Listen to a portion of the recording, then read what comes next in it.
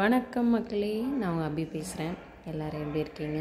Sundays எல்லாம் சூப்பராக போச்சுன்னு நினைக்கிறேன். சண்டே மட்டும் சீக்கிரம் ஓடிடுது நம்ம கடையில் அடுத்த பேட்ச் வந்தாச்சுங்க. கார்லிக் ஊறுகாய் பூண்டு ஊறுகாய் அதே மாதிரி பெரிய நெல்லிக்காய் ஊறுகாய் அப்புறம் இட்லி பொடி. ஸோ போன டைம் வந்து வச்சேன்.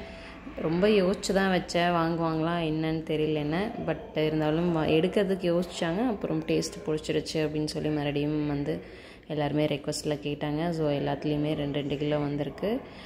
வீட்டில் செய்கிறது தான் பட் இருந்தாலும் எப்படி செல்லிங்க்கு பேக் ஆகி வரணுமோ அதே மாதிரி தான் பண்ணி வந்திருக்கு. ஸோ நெல்லிக்காய் வந்து two hundred grams one thirty rupees வரும். பூண்டு வந்து two hundred grams one eighty rupees வருங்க. மலைப்பூண்டு ஒத்தப்பூண்டு அதனால தான் ரேட் ஜாஸ்தி. ஸோ இட்லி பொடியும் ஹோம்மேடு தான். இது எல்லாமே எனக்கு தெரிஞ்ச ஒரு அக்கா வந்து வீட்லேயே ப்ரிப்பேர் பண்ணி நம்ம ஆர்டர் கொடுத்ததுக்கப்புறமா செஞ்சு தருவாங்க. ஸோ கடையில் கண்டிப்பாக வந்து வாங்குங்க. நஞ்சில்லா உணவு நோயில்லா வாழ்க்கை.